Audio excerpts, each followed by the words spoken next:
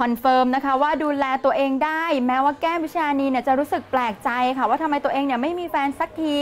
ยอมรับว่าโดนแซวบ่อย ส่วนงานช่วงนี้นะคะ แทบทุกงานที่รับมาเนี่ยก็จะมาในธีมของเจ้าหญิง เจ้าตัวเองก็ยอมรับว่าน่าจะมาจากการที่ได้ขึ้น ร้องเพลงบนเวทีออสการ์ในปี 2020 ค่ะ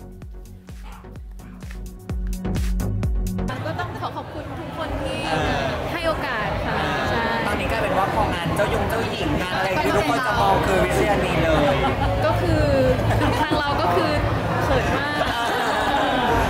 วัยเราก็คือไม่ใช่เจ้าหญิงขนาดนั้นแล้ว แต่ว่ายังได้รับเกียรตินี้อยู่ เพราะว่าด้วยความที่ยังเหมือนอินกับดิสนีย์แล้วทุกคนก็ให้ให้โอกาสแก้มช่วงนี้เนาะเราว่าเป็นเป็นเป็นช่วงด้วยค่ะ เดี๋ยวก็จะมีสไตล์อื่นเข้ามา อย่างล่าสุดก็คือเป็นสิ่งหนึ่งที่เราไม่คิดว่าเราจะได้ไปใช่ไหมคะพอกลับ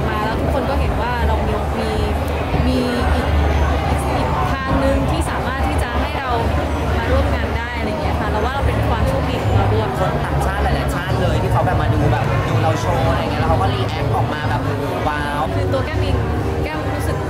ดีใจเนาะตอนนี้เราเราไม่เราไม่เราไม่ได้โฟกัสว่าสเปคเราเป็นยังไงคือเราไม่มีโฟกัสหรือว่าตั้งไว้อยู่แล้วตั้งแต่แรกมีคนเข้ามาบ้างยัง